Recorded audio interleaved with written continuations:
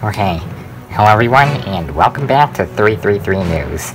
Now, uh, on today's episode, it's going to be pretty simple because we don't have too much to discuss, but it's mainly going to be about the summer that's coming up and what we have planned for the upcoming summer. So, let's get straight into that. So, first of all, yeah, we're getting pretty close to the summer here. It's just like two or three weeks away now, and yeah, we're already having some summer heat out there, especially with the heat wave going on in New England right now. Hopefully, you're all staying hydrated, cool, and uh, safe out there. So, yeah, summer's getting pretty close, and uh, hope you're all enjoying it so far because the heat's really starting to come in. So, yeah. Now, what I really want to discuss is what we have planned for this year's summer. And last year's summer was pretty ruined by the pandemic, so we couldn't really do too much. Especially one of our big things each year, which is Wario's vacation. So, uh, that's definitely going to be on the bucket list this year. So, uh, yeah. We're definitely going to be, uh, doing some 3-3 episodes this summer. It might be a bit of a slow start because we're going to be kind of like easing into the summer schedule, but, you know, we're going to be making a good amount of content for you throughout the summer, just like we did in 2017. Hopefully we can bring that back. And, uh, yeah, when we get to August, we're going to be doing another Wario's Vacation. Now, uh, of course, the Wario's Vacation series is starting to get repetitive, so we're going to come up with a little bit of a more creative approach to this one. And, uh, we'll see what we can do. So, uh, yeah. We are going to be doing a lot of stuff this summer including a Wario's Vacation. That is definitely on the uh, list. We missed it last year. We're not going to miss it this year, hopefully.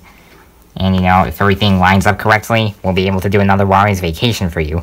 And we'll try our best to make this one a little bit more original than the rest of them, so, yeah. Also, let's see, what else is there? Some more 333 tunes coming up.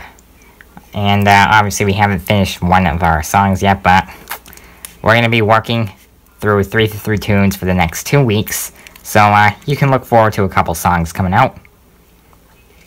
And, uh, yeah. Once we get to the summer, we'll be uh, definitely following through with our schedule without any bumps in the road. Except maybe for 4th of July, but we're definitely going to do a pretty good 4th of July special this year, too. So, hopefully you can look forward to that. 4th of July special. Because I don't think we did one last year. And, uh, it's kind of weird because, you know, two years prior, we did two 4th of July specials, which were both vlogs.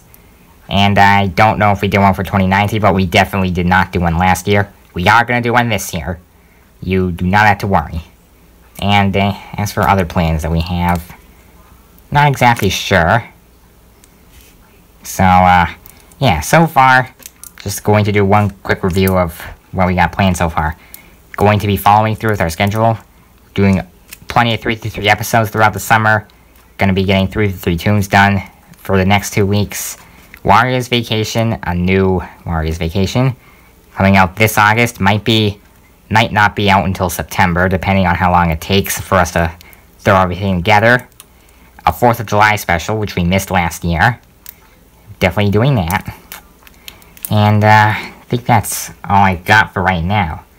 I know this was kind of a short episode, but don't really have a lot to discuss tonight, so hopefully you're looking forward to what we have planned for the summer. I'm, I know I'm looking forward to it. It's going to be an interesting summer, one that we'll be able to enjoy unlike the last summer, which was inevitably ruined by the pandemic, but this summer I'm looking very forward to, so hopefully you're all looking forward to it as well.